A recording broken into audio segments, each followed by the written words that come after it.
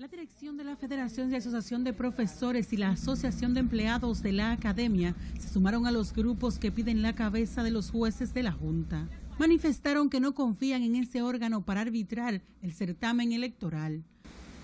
Por el respeto de la voluntad popular, la defensa de la institucionalidad y la total transparencia de este nuevo llamado a, elecciones, no puede quedarse en manos de los mismos árbitros.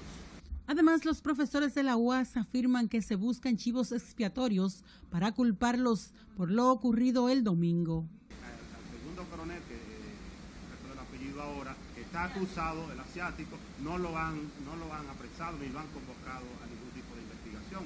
Por lo tanto, eh, estamos claros y el pueblo ya está claro que no va a aceptar esta desviación de los verdaderos culpables.